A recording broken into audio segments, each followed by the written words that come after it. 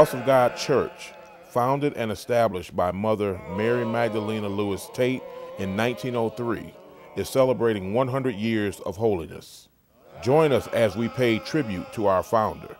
See how the legacy and vision of Mother Tate has built and maintained one of this nation's oldest and largest churches. How different church leaders throughout the years have added to the greatness of the church, and how different factions of the church, known as dominions, finally come together for the first time under one roof, and much more in the House of God 100th anniversary.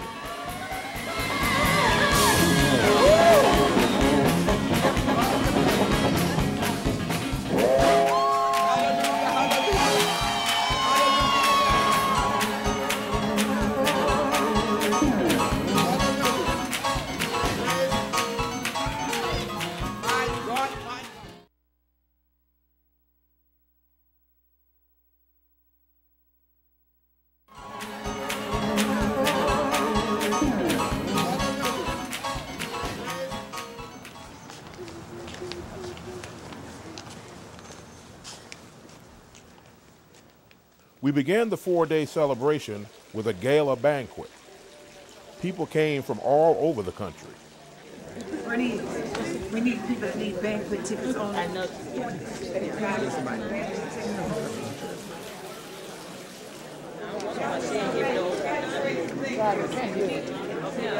Okay.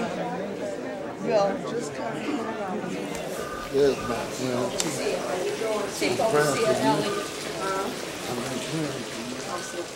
Our church leadership and church elders had a chance to get together. Thank you so much. Thank I, I may not know the rest, but I know this song.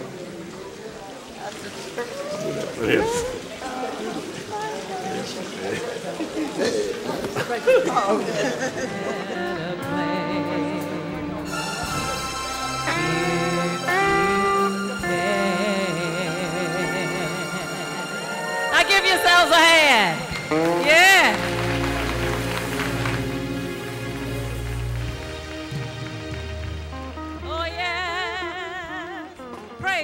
banquet room was filled to capacity with members of the congregation, special guests, friends, family, you name it. It was quite a kickoff.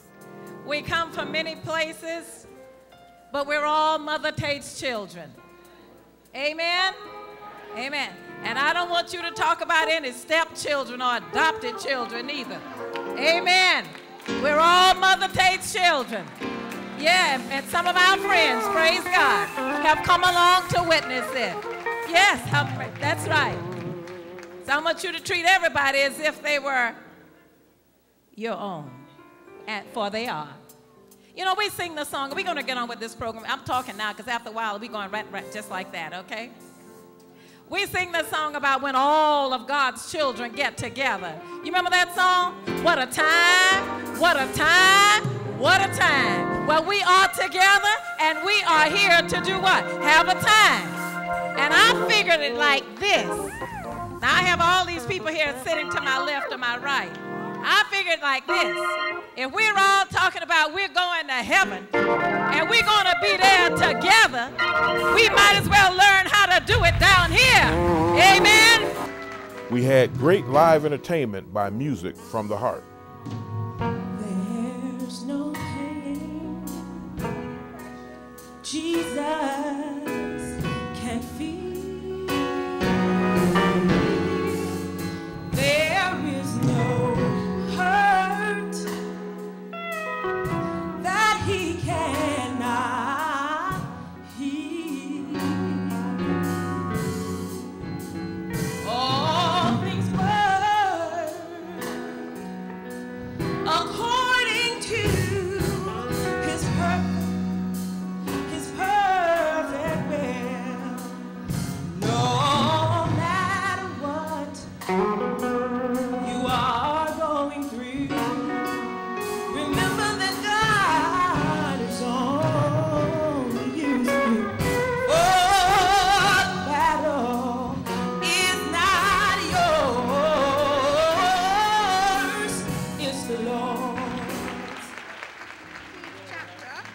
Elder Mary Ravenel is always an eloquent speaker.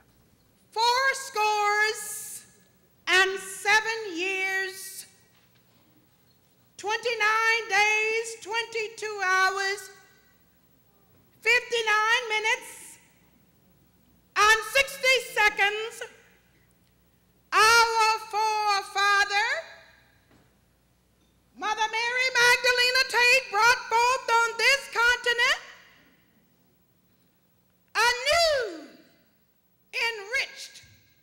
with the Word of God, a new established religion, holiness.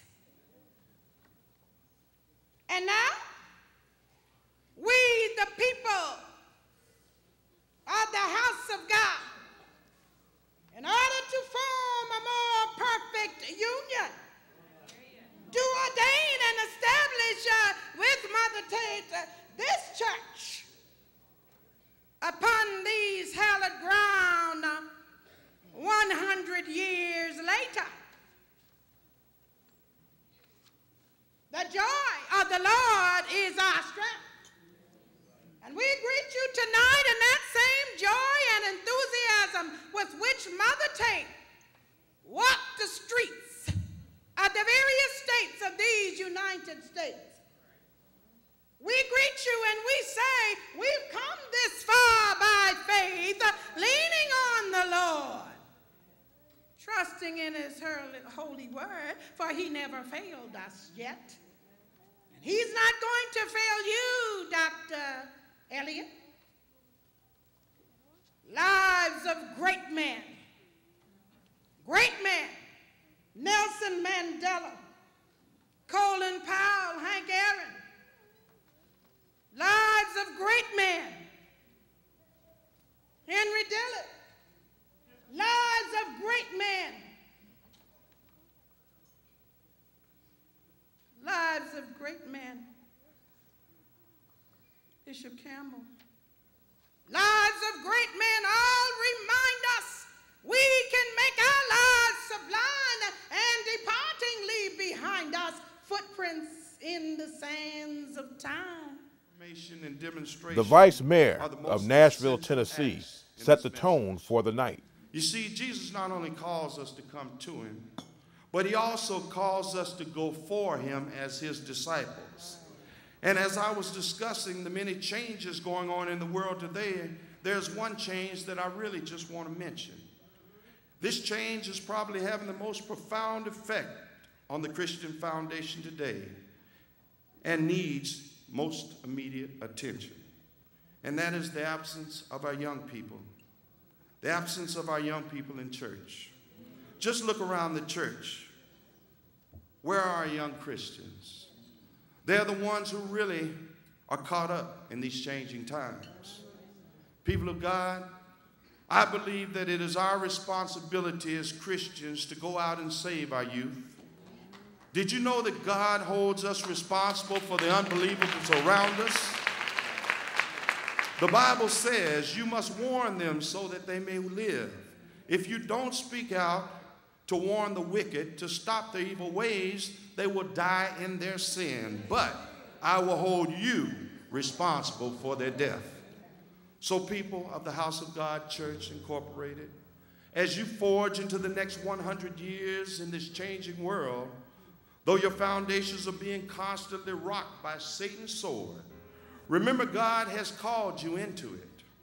Just like He called Mother Tate in 1903, just like He called Dr. Keith in 1931, just like He called Dr. Jenkins in 1962, and just like He called Bishop Elliott in 1990, God has called you into it.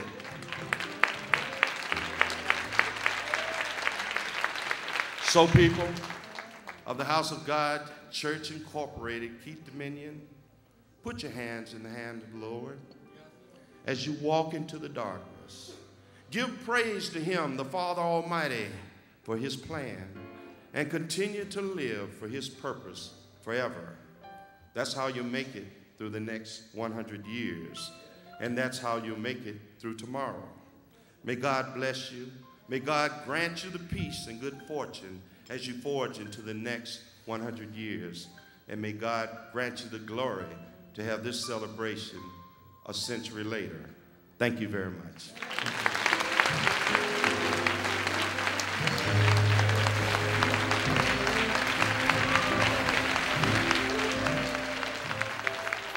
We had great fellowship amongst the congregation.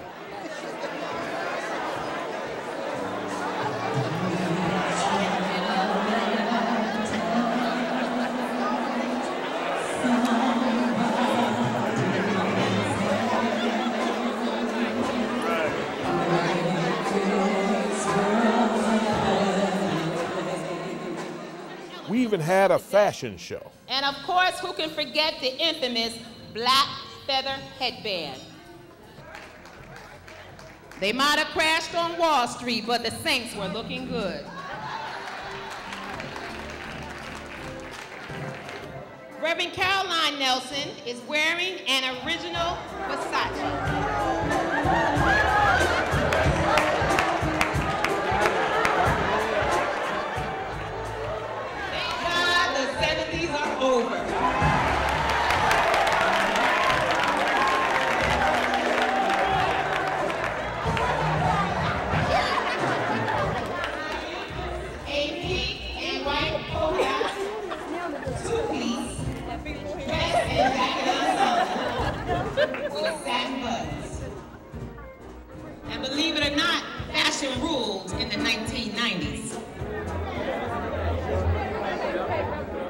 People loved the night.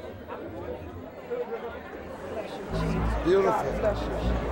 It has been a very moving experience to see the bishops, the elders, and the members come together because, as we know, where there is unity, there is strength. As I sat there listening to all of the music and the wonderful speech and just fellowshipping with those who are sitting at the table with me, I said, my goodness, this is really something. So this banquet, this whole centennial celebration is going to be something to remember.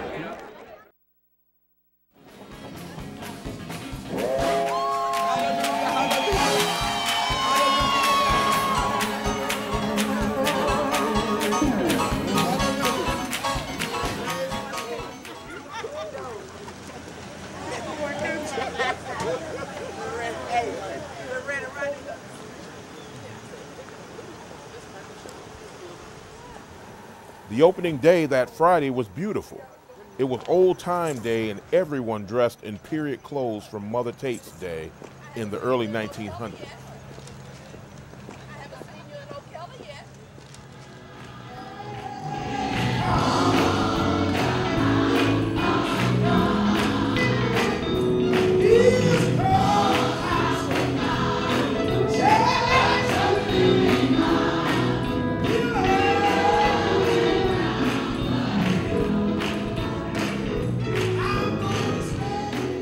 Entrance of the church leaders was in grand style.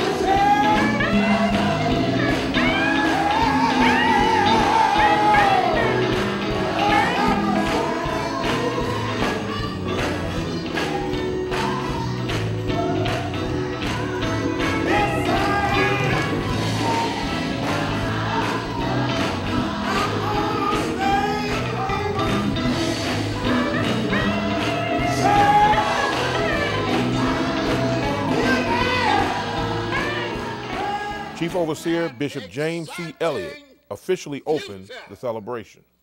Therefore, I, Bishop James C. Elliott, Chief Overseer, Senior Bishop, Chief Moderator, and Apostle Elder, do hereby declare this centennial celebration officially opened to give praise to Almighty God for all his blessings.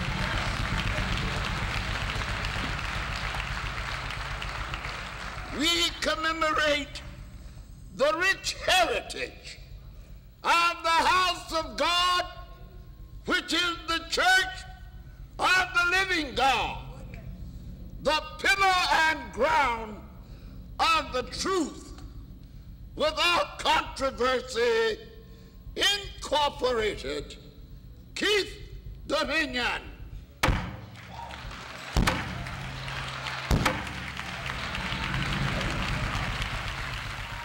Giving honor to the chief overseer of this church, the house of God, which is the church of the living God, providing truth of our controversy, Keith Dominion.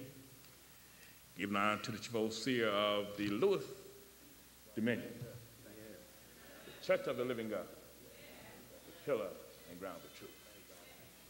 We give an honor to the, I believe we have, yes, the Jewell Dominion. Amen, where Bishop Mark here represents. Amen. We give an honor to the biblical house of God. Let me, let me put it this way so you understand. We're here to honor all of Mother Tate's children.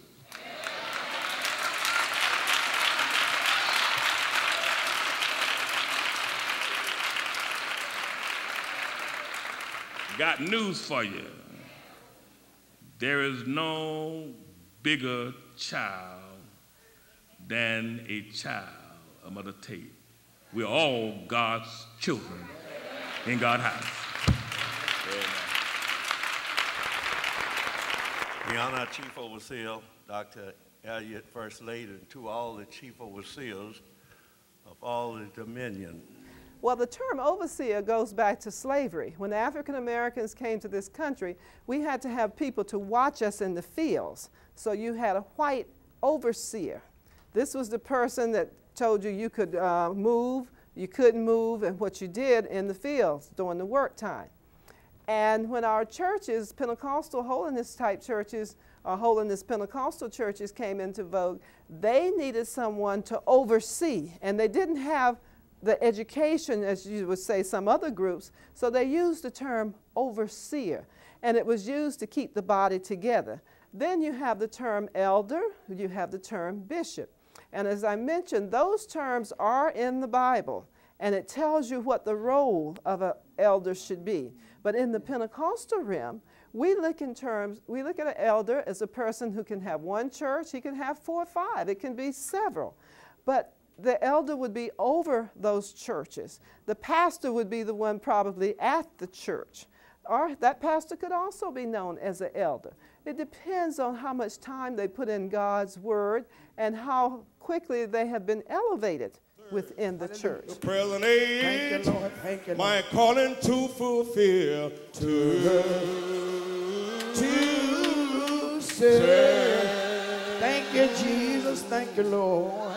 Oh,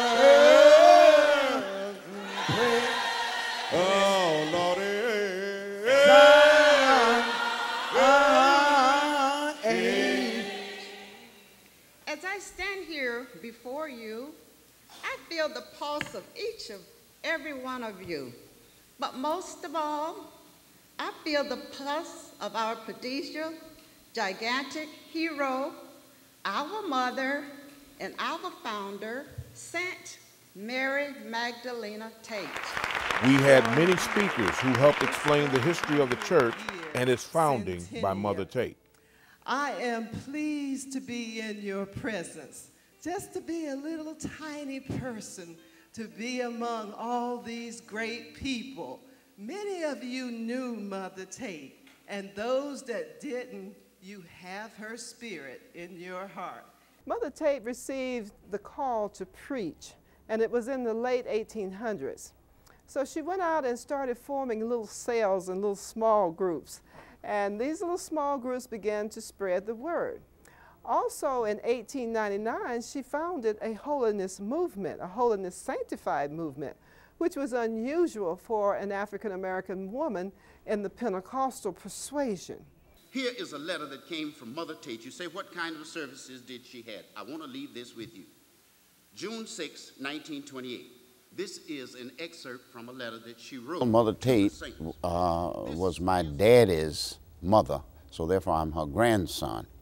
I lived in the house with my daddy all of my life, and uh, obviously much of the talk that he uh, did was about his background, his coming up, the influence that his mother had on him in his life and his brother.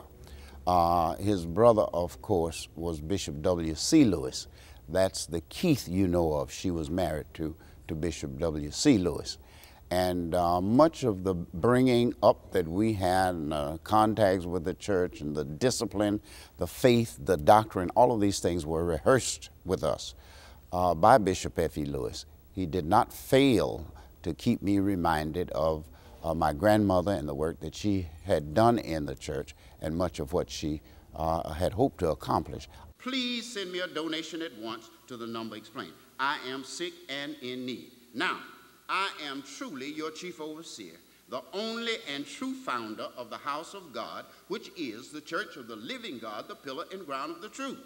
I am definitely, expressly known to be the one through whom the Lord in these last days did choose to set up this above here named church, beginning in Greenville, Alabama, then in many other places in Alabama, and from there to Paducah, Kentucky, also to Waycross, Georgia. The Lord preached through me 24 nights in succession when building up the work in Waycross, Georgia, without the aid of anyone but Jesus to help me and to set up the church in number of 24 members before anyone's arrived to assist me in the meeting. Well, number one, it was unheard of for an African American woman to have founded a movement coming from the South, poorly educated, but she had the anointment of God on her. And that's what gave her the unction to go forward. You want to know about what kinds of services she had? This is the kind. So, while rejoicing over the 24th person having already received the blessed Holy Ghost, I lifted up my eyes and did with the arrival of one who was my helper at that time. So the meeting in Waycross continued on until about a hundred or more were filled with the wonderful blessing in Waycross. I'm talking about service. I'm talking to the elders and to the ministers and to the preachers, to the evangelists. You want to know what she did? That's what she did. Thank God for Jesus. So the Spirit bade me continue. The meeting and souls continued to be saved until the number of the band was 260. These are her words. It was her vision that there would be an organization that would not be sensitive to gender as such in the various roles that the church. This was specifically very difficult during her time, the early 1900s, because people did not recognize women. And to be bold and to take her children and to talk to people and to travel, all of these things were not a part of our culture in the late 1800s and the early 1900s. So she was quite unique. I don't think that could be in a greater gathering and fellowship has taken place in this meeting.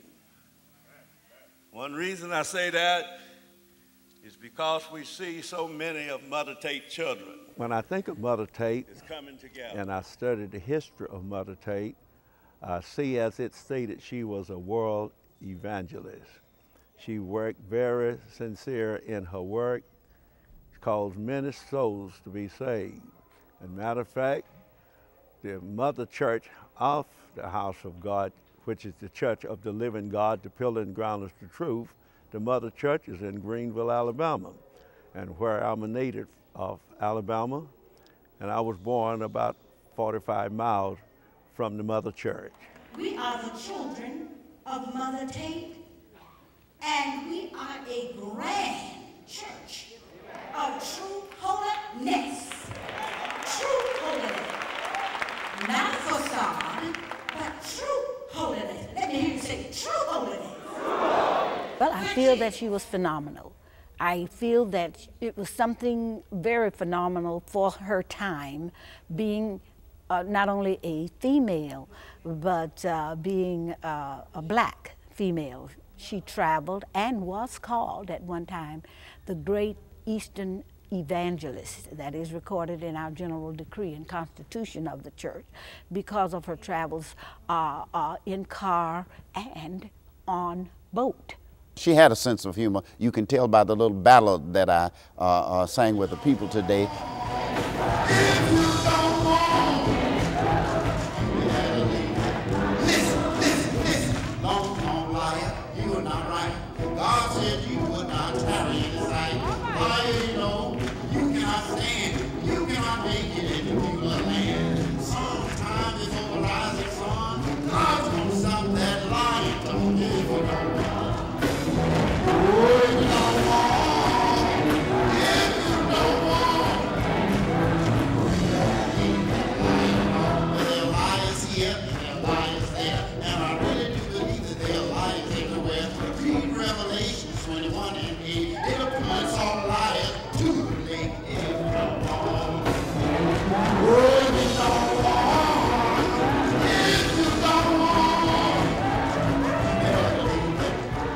Very much interested, but she always wanted a story, a true story, something that would relate to the gospel that she preached. And she would do that with a smile, and she would uh, teach the members to sing those songs.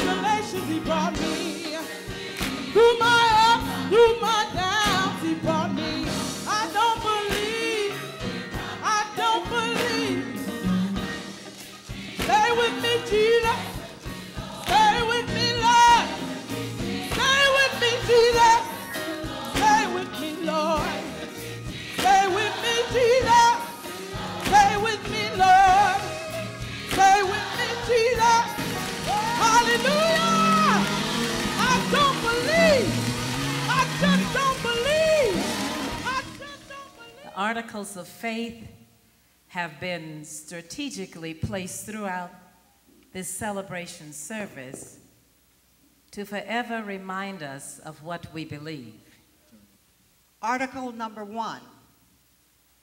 We believe in God the Father, God the Son, and God the Holy Ghost, and that these three are one in the holy estate God said, let of the Godhead us make man, both male and female.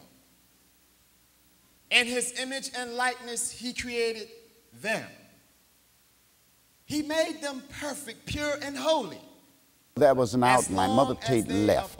One, as a woman preacher who was not accepted uh, in the ecclesiastical world. In other words, she didn't have authority, quote, as they would say, to interpret the, the scriptures. And she set forth these articles to show her interpretation of what God meant as He uh, outlined these things. And so they were uh, captured in her decree book. Uh, she wrote the church's founding document, which is the, the General Decree Book. All of the dominions still adhere to that. disobedience of one man, many were made sinners. And We believe that Jesus is the foundation of the church. And that such a foundation was finished when he said on the cross, It is finished. We preach and do firmly believe that Jesus Christ is the Son of the living God and that he was born of the Virgin Mary. According to the word, now, a number of people have asked me, uh, how did Mother Tate defend her position? She had full Bible proof, and that proof was uh, a number of scriptures in which the Lord uh, spake words that she certainly taught, and she uh, went on to say that there would come a day that um, a woman would compass a man. You find that in Jeremiah, 21st chapter. And uh, she said the woman would, and she dwelt on that very, very heavily, that that day was now. And that she certainly, not just because she could preach the gospel, but because she lived that gospel. The term bishop is not a term that we really came up with. It was used in the Catholic churches and other churches. But we patterned after the other churches because of the ring, the dress, the attitude, the dignity involved in using the term bishop.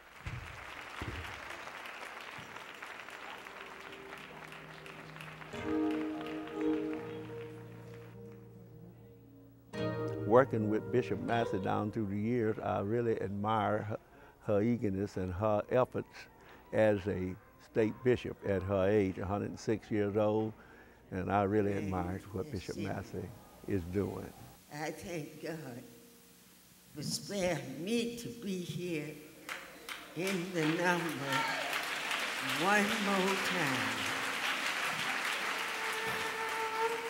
I thank him because he brought me over the rough, uh, the people used to say the rough side of the mountains.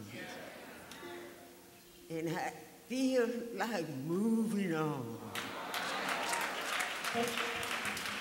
Sometimes the way looks kind of dreary, and the devil say you can't do that. But one thing I learned that we can do anything that God told us to do. He don't tell us to do anything we can't do. And he knows what we can do. And I just thank the Lord because right now I don't feel no ways tired. I come to where I started from.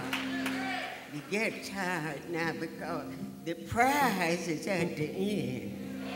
And not given to the strong and neither to the swift, but the ones that hold out and endure to the end. Church, my mind is made up, and my heart is fixed do what the Lord said do. Amen. He don't tell us to do nothing. It's a special moment for us as the Campbell brothers and as musicians in the House of God Church. We count ourselves as the third generation of musicians playing in what has been dubbed as sacred steel. We have been blessed to be able to travel throughout the world to over 20 countries playing House of God music for the world. And indeed, we owe that we owe all of that to first of all the House of God Church, and then secondly to this next man who is on the program, who started this tradition back in the 1930s and began playing a lap steel in the tradition of the human voice and the voices of our Pentecostal services, and refer to them as Mr. Willie Eason. For never heard a man just like this man before. But all of the days of my life and every every since I ever since I've been born I have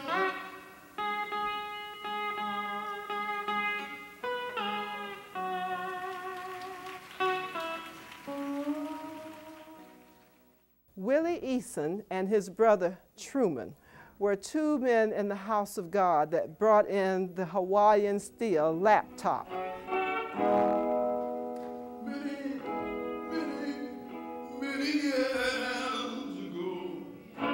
It was very unusual. I knew right off that very unusual to find this music in African American churches. But also the music was just exceptional, exceptional. You know, it was very expressive and uh, myself and my colleagues reacted, you know, on a visceral level immediately, and we knew this was really good stuff. And then we right away we heard things about the tradition goes back to the 1930s.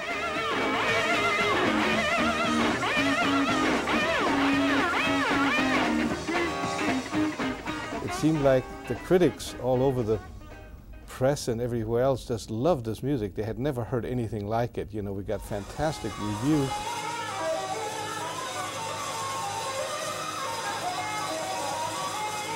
It's, it's a music that was just hidden, I guess, in a in the church, uh, in in the house of God, you know. And I think this is what kept it so pure, is that people have kept it in this tight community that uh, has really its own rules and its own very distinctive music.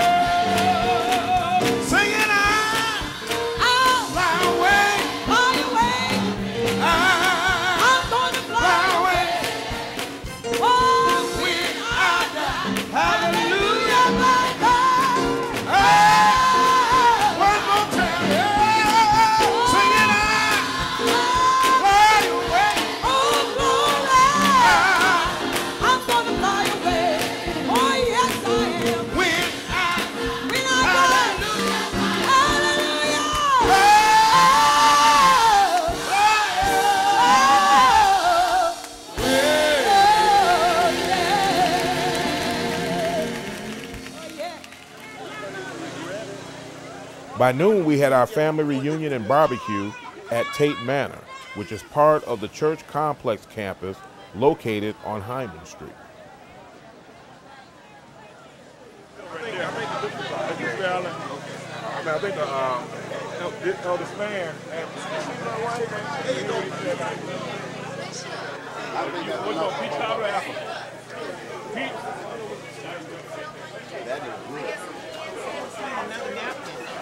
I know I look bad when I eat anyway.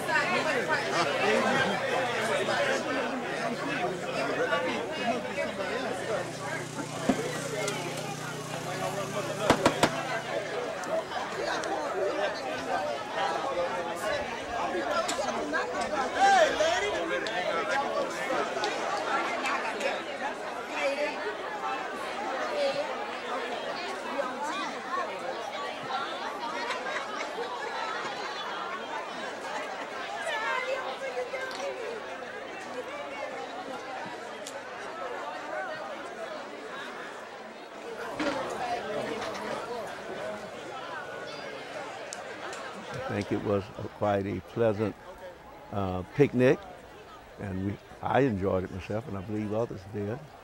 And nevertheless, uh, I can't say for everybody else, but I know things went very well, I thought.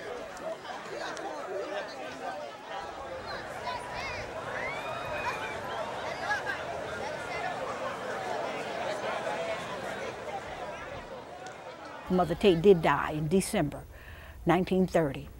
The church, after the death of uh, Bishop Tate, elected three chief overseers. That was three dominion, the Keith Dominion, Jewell Dominion, and Lewis Dominion. I always say it was broken up into the three dominions in 1931. Yes, it was by court order.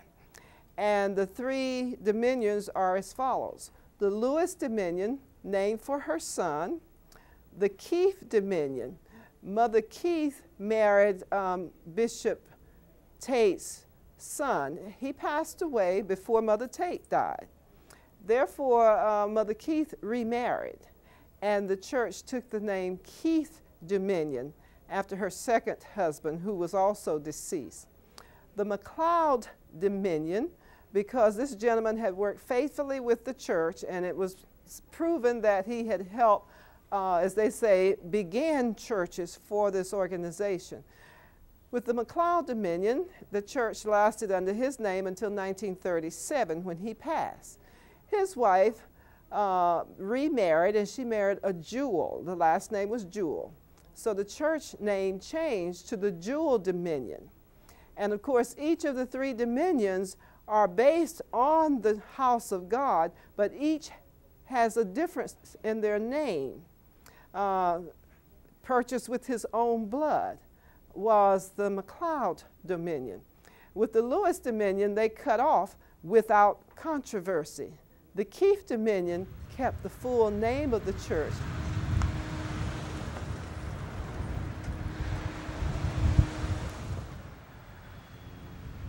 The graveside memorial service for Mother Tate was held that afternoon. Again, we had a joining together of different dominions to pay tribute to our founder. This centennial that stands out above any other because there is no precedence.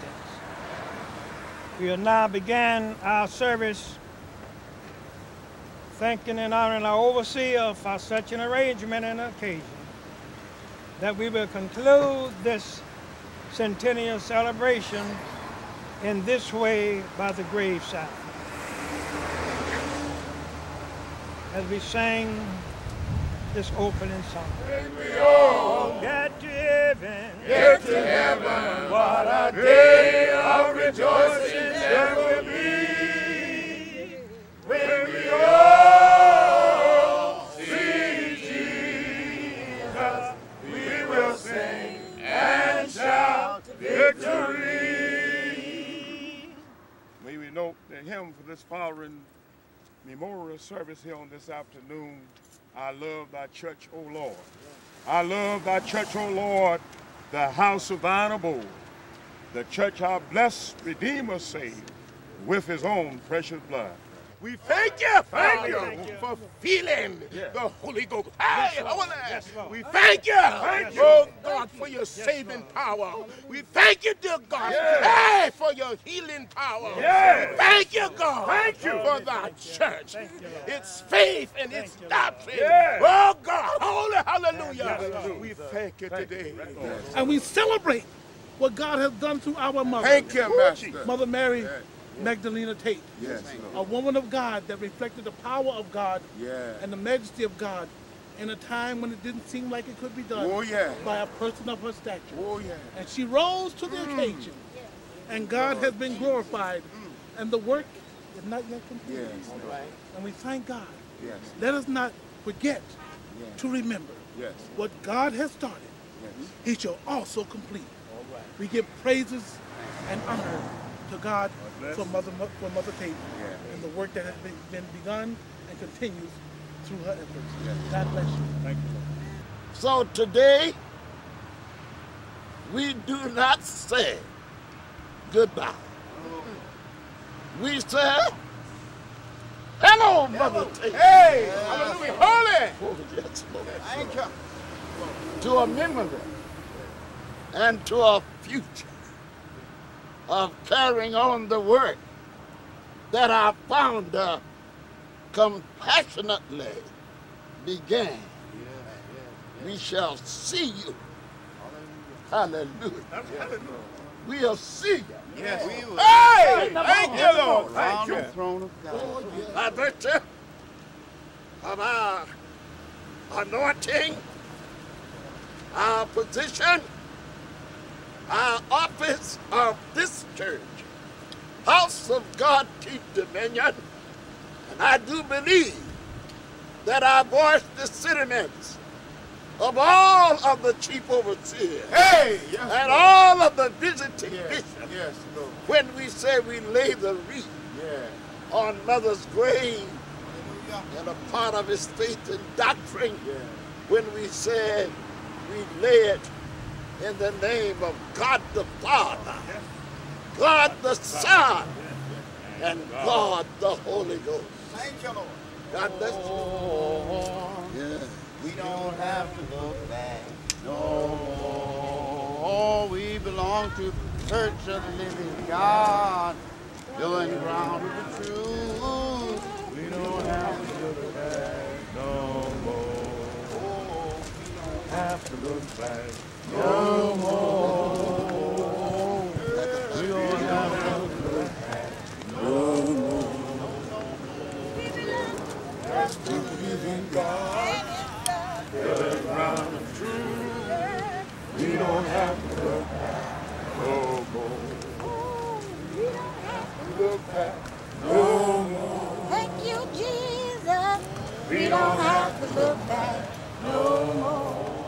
This historic celebration is the first event where all of the dominions came together for a spiritual occasion. With the Keith Dominion was uh, Mother Keith. I, I knew Bishop Keith. I, I did not uh, serve under her too long, but I did serve under her because she ordained me as an ordained minister. And uh, the years that I had been here, so I just came into church about 52 years ago. When I got here, I found that Bishop Keith was a real woman of God. She was one you did not play with. She was one that was serious at all times. Well, Bishop Keith uh, was a meek and a most spiritual minded person, and there's many things that I can name that happened under her ministry, especially her faith and her gift in God, because many souls have been healed under her ministry. I was see the first time that I met Bishop Keith. She came to West Virginia to one of our assemblies.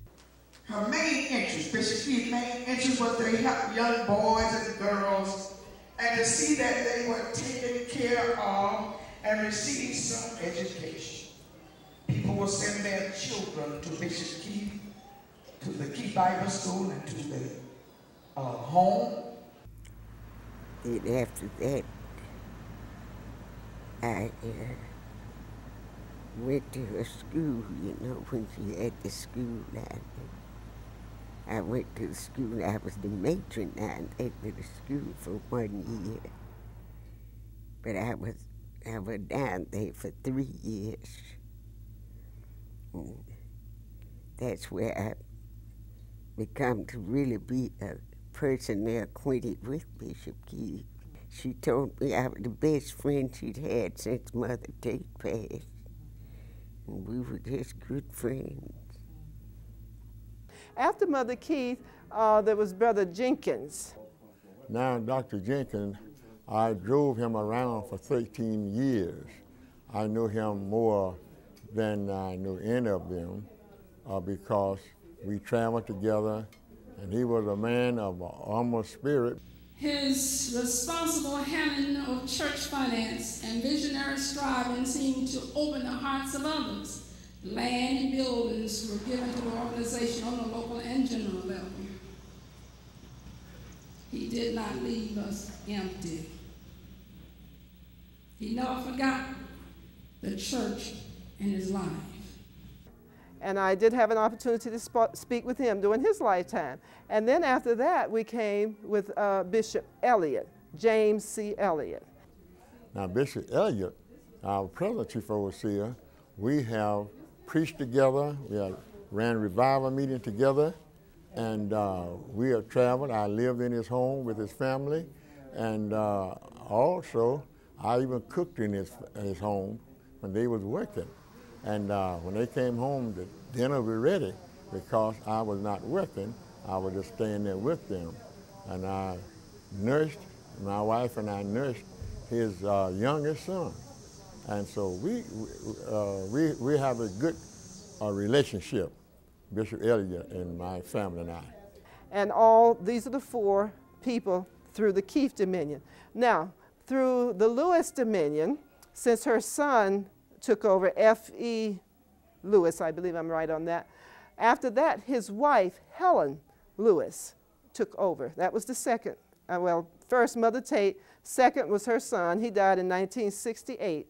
Third was Mother Helen, and she passed a year or so ago. And presently, it's Maher Lewis. So those are the generations, the four leaders within the Lewis Dominion. Now, if we come over to the McLeod Dominion, it was started McLeod until 1937 when he passed. After he passed, his wife remarried and she married a Jewell. So the Dominion became Jewell Dominion and she lived until 1991.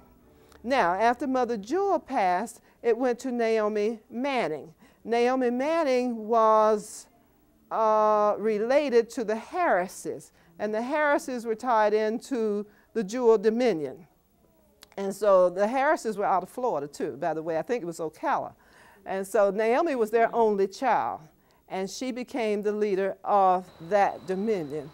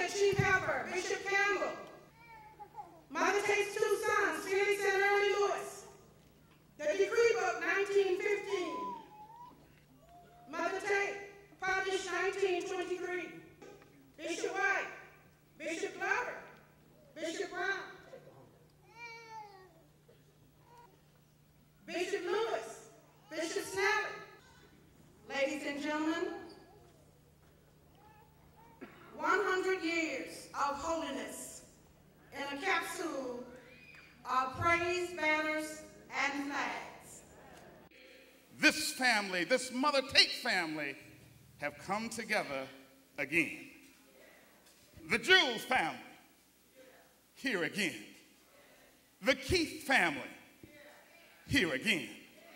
The Lewis family, here again. The White family, here again.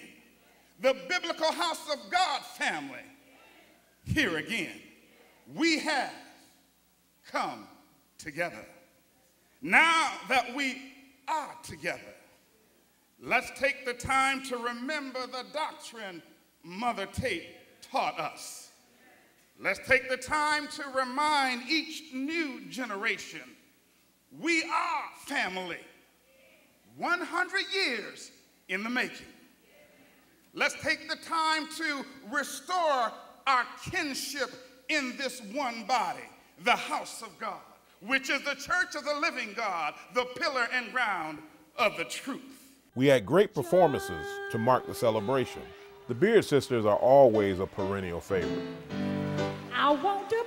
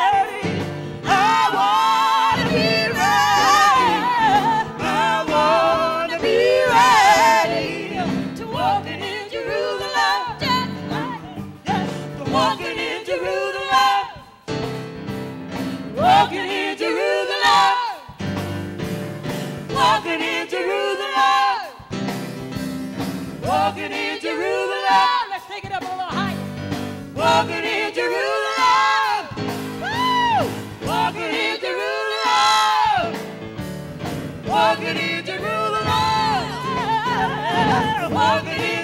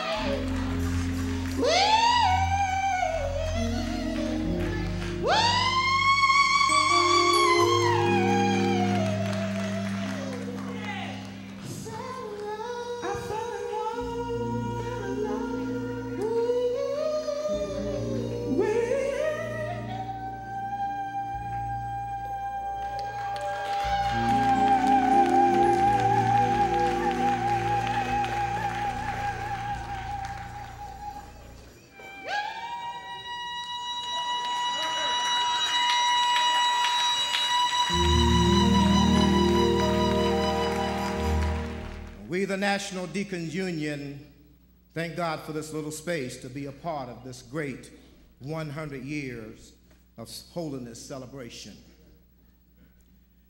I call your attention to Acts, the sixth chapter. And in those days, when the number of the disciples was multiplied, there arose a murmuring of the Grecians against the Hebrews. And then the twelve called a multitude of the disciples and said unto them, Wherefore, brethren, look out ye among you seven men of honest report, full of the Holy Ghost, whom we will appoint over this business. Duties of the deacons, Deaconess Ruthie Rump. The duty of a deacon is to serve tables and to work in every way possible for the support and upbuilding of the Church of the Living God, the pillar and ground of the truth, to defend, uphold, maintain, and obey the faith, the Constitution and the government and the creeds and the general rules of the Church of the Living God, the pillar and ground of the truth. The Henderson sisters are the premier vocal group of the Jewell Dominion.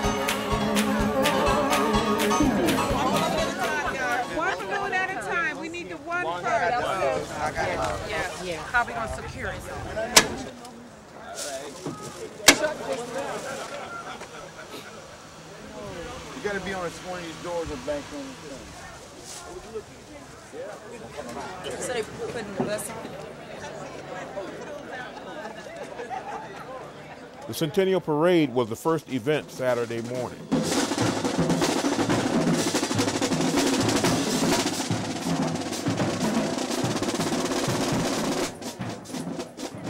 This is a grand day. I don't find adjectives to describe my feelings, but I know that the Lord is pleased. And what a fantastic gathering. And to have this parade this morning seemingly is putting a seal on some of this activity. Oh, it's exciting. It's a big, uh, like a big family reunion.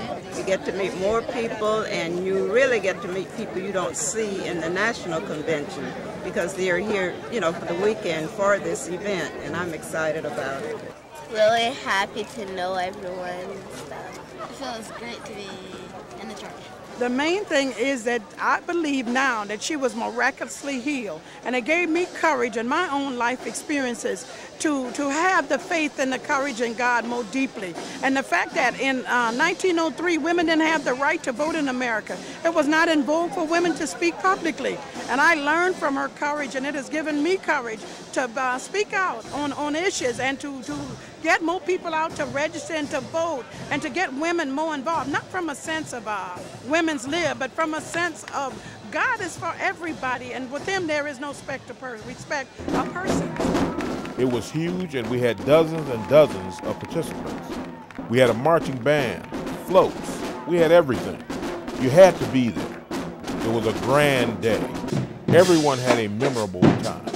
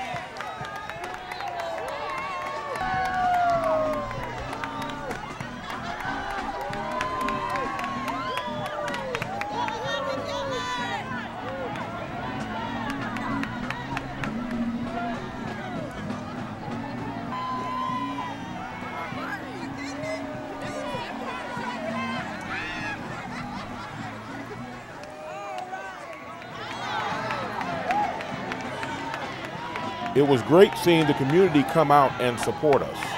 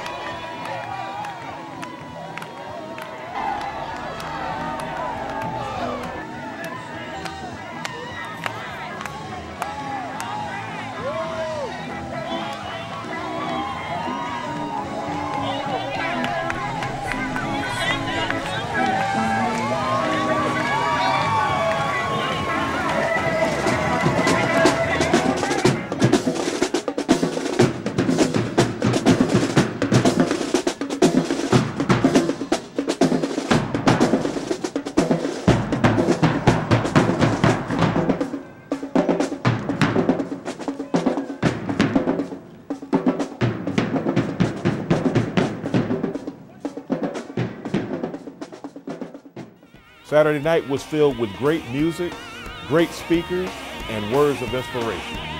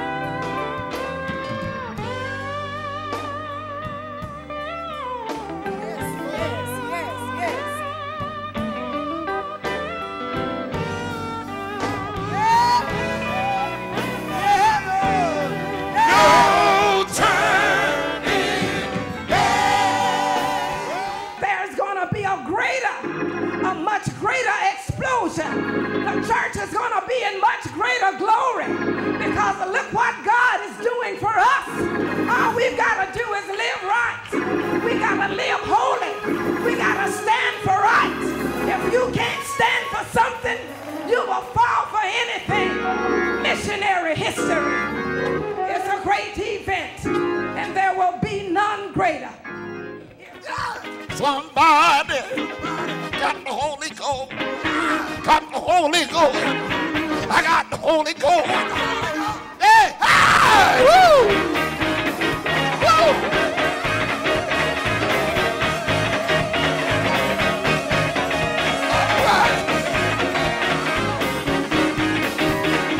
about you, Bishop? You better tell us something now. Holy Ghost, that power, that Holy Ghost with power, that Holy Ghost with power. Yeah. Yeah.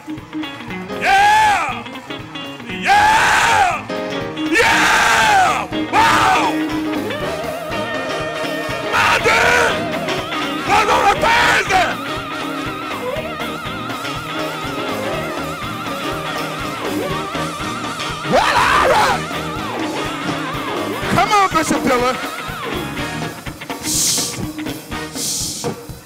That Holy Ghost with power, that Holy Ghost with power. Holy Ghost on the Monday. On the Monday, I'll call Jesus. I'll say Jesus. Jesus. Jesus. Jesus. Jesus. Oh, Woo! It is such an honor and a privilege to be here. The worship has been in the hospitality because it's been to the glory of God. To every friendly smile, it's been to the glory of God. Every barrier has been broken down and God's been worshiped. Glory to his name. Every yes, every friendly smile. Oh, it's been to the glory of God and he's been worshiped. Hallelujah. Hallelujah. I am so inspired by what our mother has done. I sat here looking around the room and we would not be here if our mother had not done what she did when God told her to do it. We may have been someplace else, but we would not have been here because here would not be here. And the vision has become a reality. And yet there is another vision yet to be fulfilled. But because a woman of God said yes to God, before there was a Jewell Dominion, before there was a Lewis Dominion, before there was a Keith Dominion, God gave Mary Lena Tate a vision. And because of that vision, we are here right now, and I am inspired to continue to dream, to continue to have hopes of a greater and brighter future.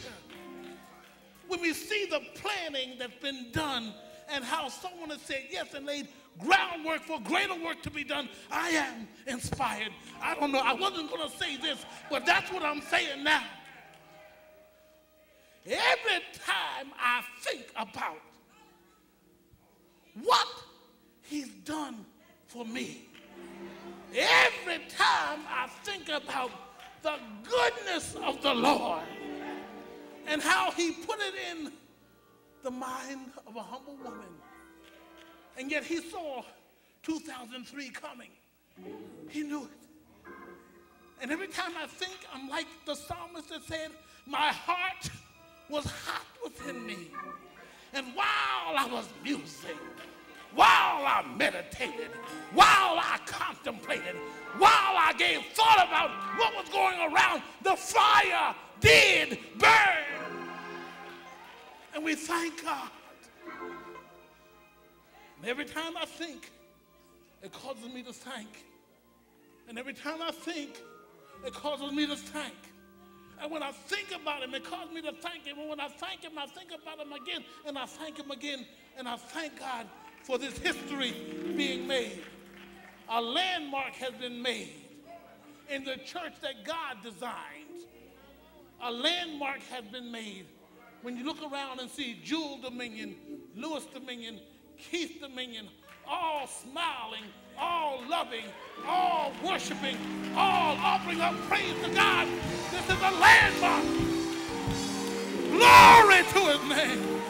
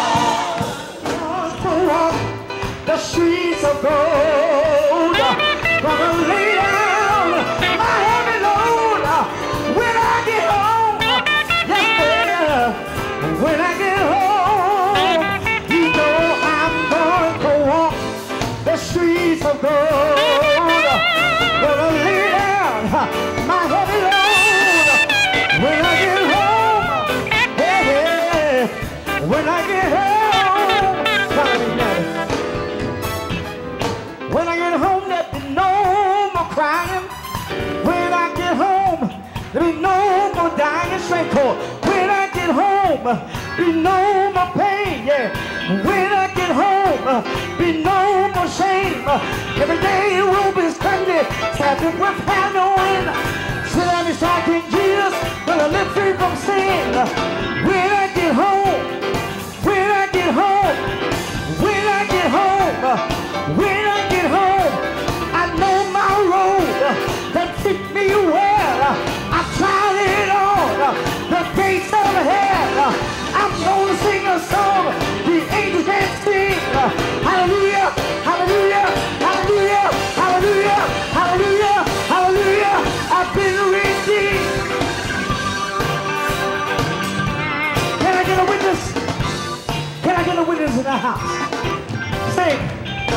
want you to help me tonight.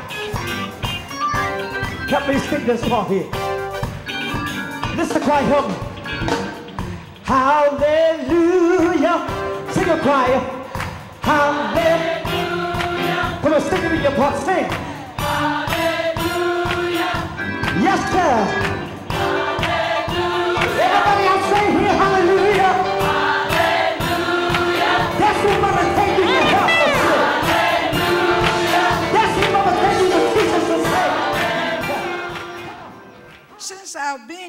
So many people have asked me, do you think it's ever possible for God's Mother Tate's children to get together?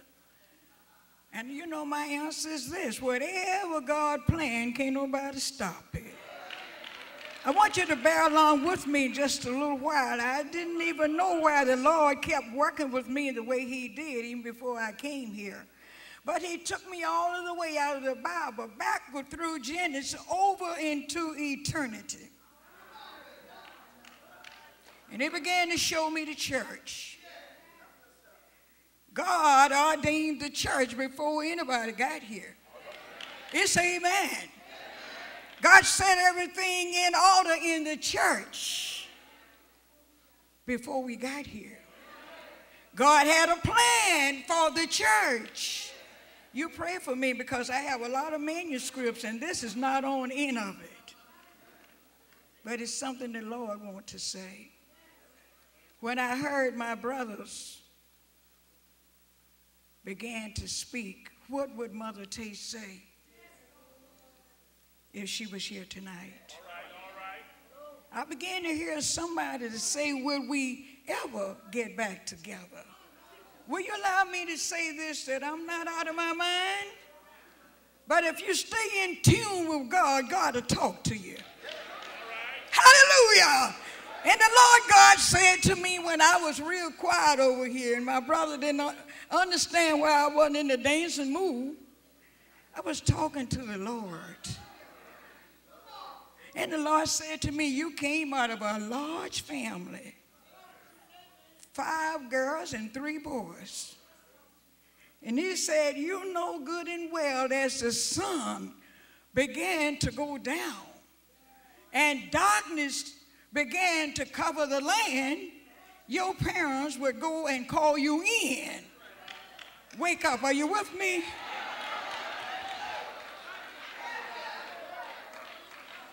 The Lord said to me, Mother Tate is not dead. She is not dead, she's just away. And I began to think about what she said in the decree book, page 33. Please bear along with me, please. She said, We believe the church of the living God, the pillar and ground of the truth, is awaiting and preparing bride. Chief Overseer, that's what's going on right now. God is preparing the church. She's got to be made glorious.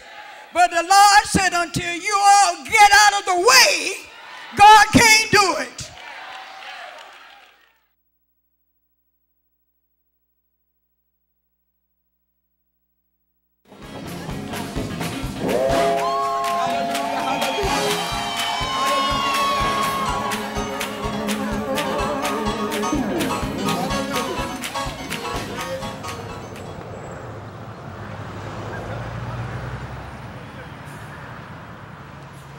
Sunday was the last service, and the Sunday service summed up the whole experience. Dr. Carolyn Love spoke of our Sunday school tradition and our rich history of Sunday school literature publication. What your church is doing. I need to worry about the greater force. When we understand that Bible school training is what all churches must come back to do, then we'll understand that your church is not my church's competition. Walmart is my church's competition. The flea market is my church's competition. The movies is anybody we're taking our tithe and offering. Our time, our attention, our allegiance, our support to, that's the church's competition. But when we bring them back to spiritual home training, bring the body back, sit them down, open up the word of God and say, the scripture says, touch your neighbor, say, we got to get back to what the scripture says. Oh, yes, oh, yes, oh, yes. The scripture, the scripture, the scripture deals with life issues. The scripture deals with everything that's going on today. I, began to share when I was in ministering in Alabama on yesterday. And I began to share with the body, I said, folk think that this my baby daddy stuff just started yesterday. But I dare you to pick up your Bible and go to the book of Genesis. Jerry Springer didn't start the My Baby Daddy drama. It started way back in the Bible days. Why we of the Word and Sunday Bible studies because there is nothing new up under the sun. Ecclesiastes tells us that. And when we understand that Sarah Abraham and the handmaid Hagar, they had some baby daddy issues.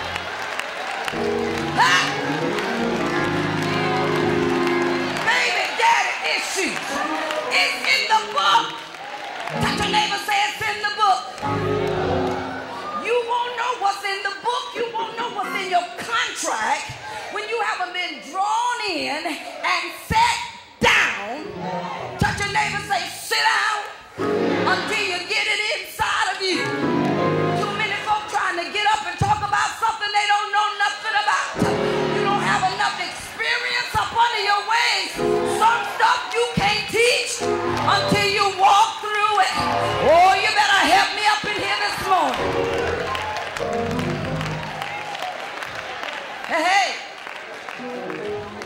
Sunday Bible School offers a growth plan.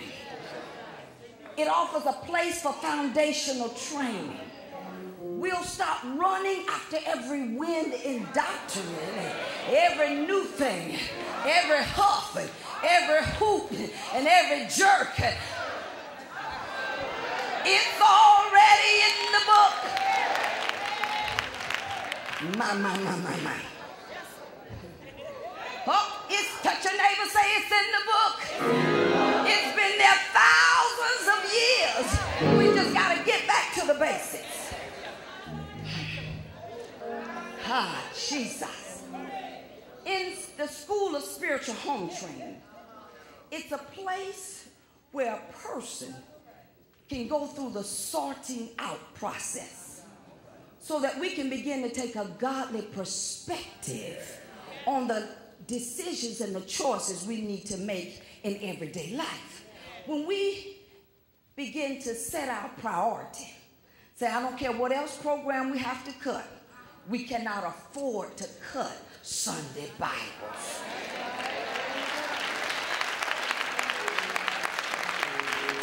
Your neighbor and say, we can't afford to do that. Because if we lose our first focus and vision and don't make this a priority, the, the, the vision that Mother Tate saw in her heart and began to institute, if we lose Sunday Bible school, the vision will get watered down. The focus will no longer be clear, and folks start doing just what they want to do and how they want to do it.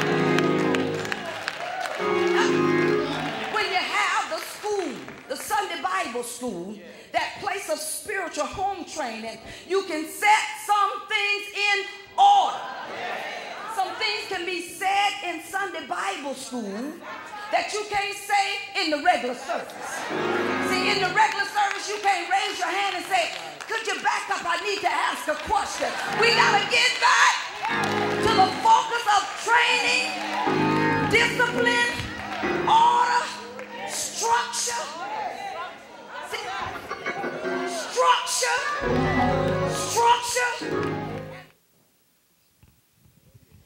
Bishop Elliott, on behalf of Bishop Felix E. Lewis, presiding bishop of Washington, D.C., and Virginia, we would like to present this letter to you for the House of God Church and its 100th year celebration. From the President of the United States and my Commander in Chief, George W. Bush. And I'd like to read it to you, Bishop.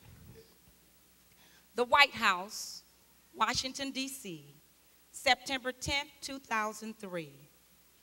I send greetings to the members of the House of God Church as you celebrate your 100th anniversary. Faith plays an important role in the lives of many Americans, offering strength and guidance for the challenges of each new day. By encouraging the celebration of faith and sharing the message of God's love and boundless mercy, churches like yours put hope in people's hearts and a sense of purpose in their lives. This milestone provides an opportunity to reflect on your years of service and to rejoice in God's faithfulness to your congregation. In the days ahead, may your community continue to grow in faith and friendship. Laura joins me in sending our best wishes for a memorable celebration. President George W. Bush.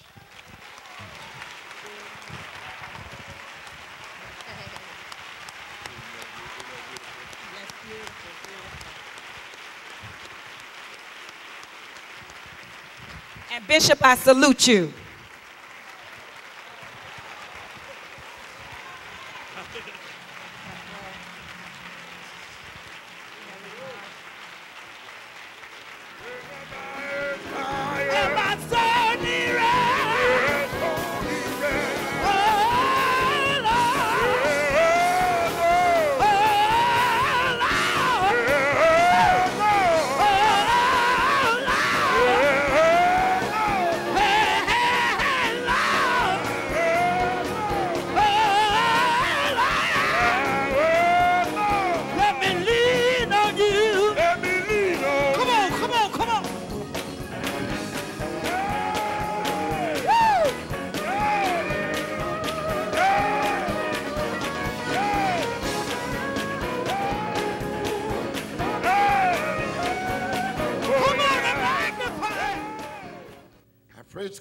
For this celebration for these 100 years.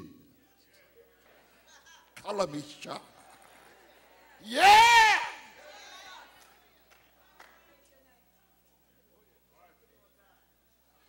Thank you, Jesus.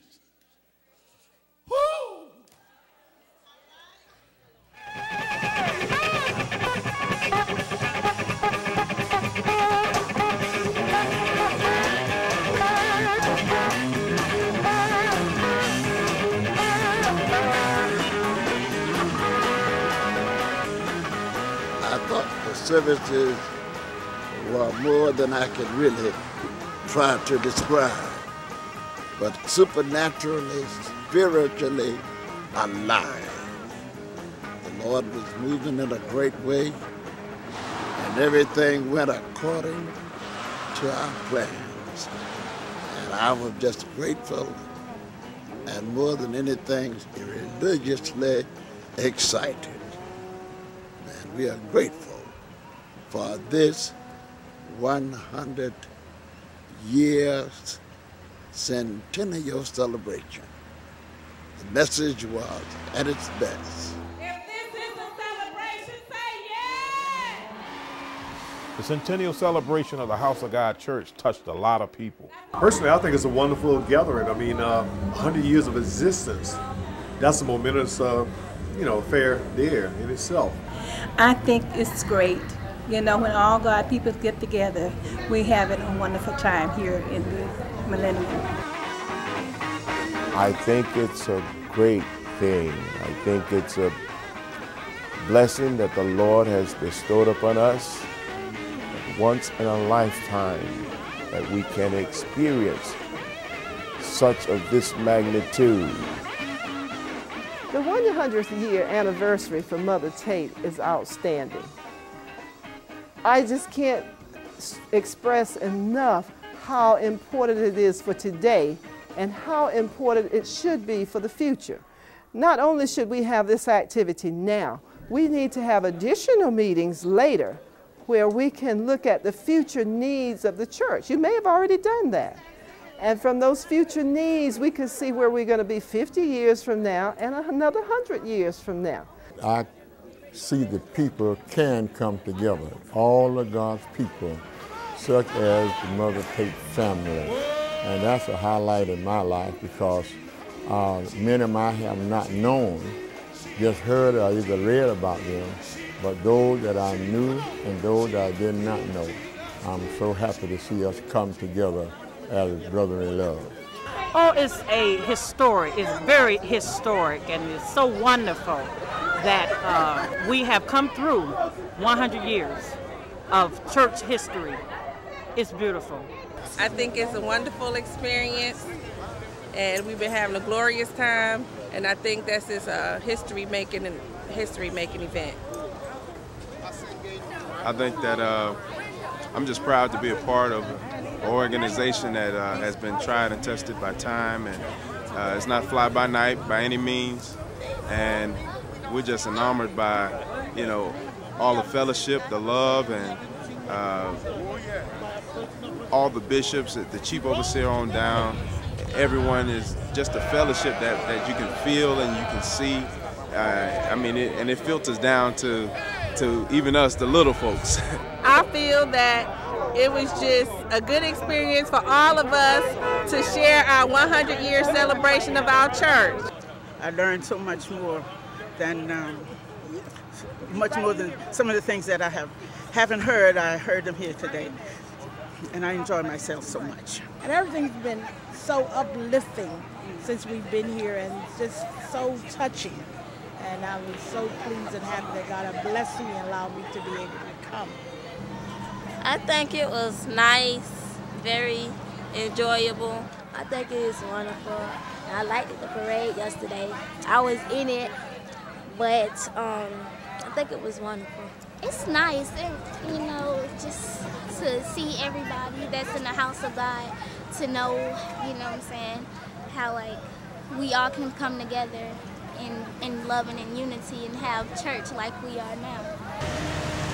Well, it was great, and I must say that it was much greater than what I could have ever imagined it to be. I think each of the bishops uh, expressed themselves in a very profound way, and uh, each one of their words were quite weighty, uh, displayed quite a uh, degree of friendship and fellowship among people. Everything was very, a very friendly atmosphere. Uh, the hospitality was superb.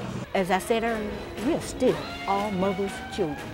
There is no getting around it. No one can undo that part of history. No one. I think I think it's one of the greatest things I think that have happened because anytime there is a division, a separation, there should be a time for us to get back together here on earth because uh, we must be able to fellowship here if we're going to fellowship in God's kingdom. And so uh, I think it's a great event. What you're hearing now, and I'm hearing, is, is something that I have been hammering at the various, and I'm glad to see them doing that, and that is we must reunite. We must come together.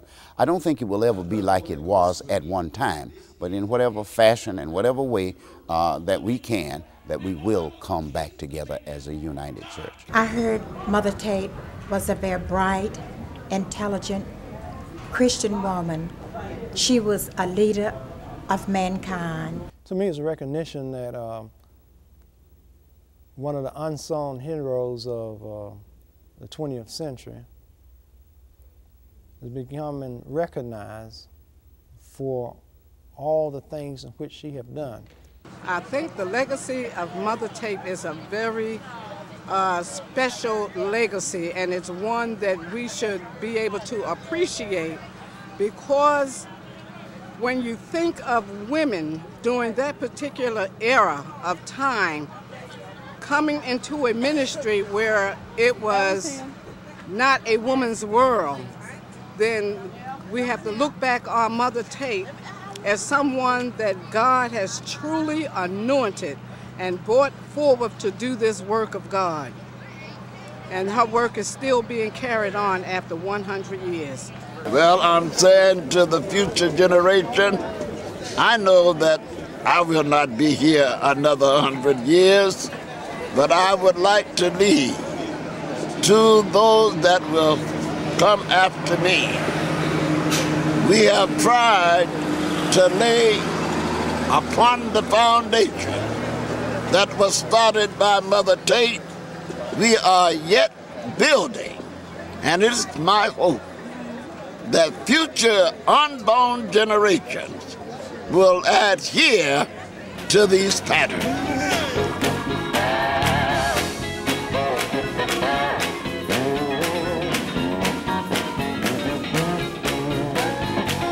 Oh!